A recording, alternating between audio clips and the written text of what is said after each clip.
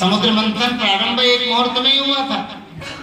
लेकिन देखो जी, देवताओं को अमृत की प्राप्ति हुई। राहु ने भले ही धोखे से पी लिया, वो बात अलग है। बाकी देवताओं को अमृत की प्राप्ति हुई और देवियों को केवल परिश्रम हाथ लगा क्यों?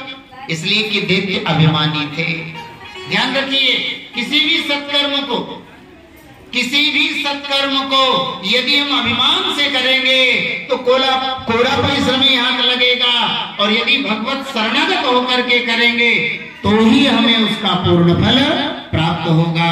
बोले कृष्ण, चंद्र भगवान।